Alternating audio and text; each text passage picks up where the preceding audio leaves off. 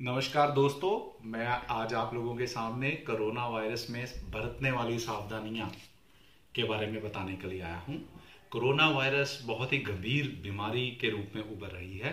इससे बचने के लिए हमें सोशल डिस्टेंसिंग सबसे ज़रूरी है। सोशल डिस्टेंसिंग जाने हमें एक दूसरे से एक से दो मीटर के आसपास, मिनिमम एक मीटर की दूरी बना के रखना है।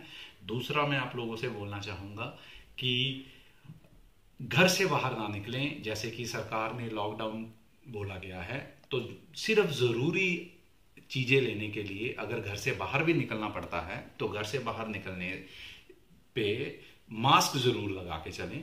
अगर आपके पास मास्क नहीं भी है तो मैं आपसे ये निवेदन करता हूँ कि आप रुमाल लगा के चलें क्योंकि जो कोरोना का जो साइज़ है वायरस का जो साइज़ है, वो काफ़ी बड़ा है। वो ताकि वो हमारे रुमाल लगाने से भी रुक जाएगा। तो एक ये।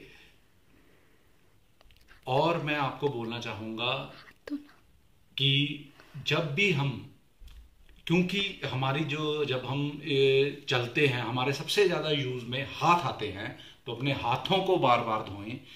अगर बोलना चाहें टाइम के हिसाब से एक घंटे में एक बार अपने हाथ ज़रूर धोएँ।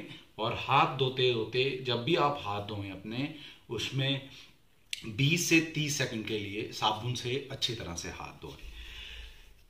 इसकी अवेयरनेस के लिए हमारी कंपनी मॉरपेन लेबॉर्ट्रीज भी काफ़ी काम कर रही है। हमारे जो कार्यकर्ता हैं, लगे हुए हैं फैक्ट्री में के आसपास के गाँव में, हम चाहते हैं कि ज़्यादा से ज़्यादा लोगों को इस बारे में पता लगे। और और वो बता भी रहे हैं तो मैं यही चाह रहा हूँ कि मेरे वीडियो के ज़रिए अगर मेरे पाँच लोग या दस लोग भी समझ आए तो मुझे लगेगा कि मैं कामयाब हुआ हूँ। धन्यवाद।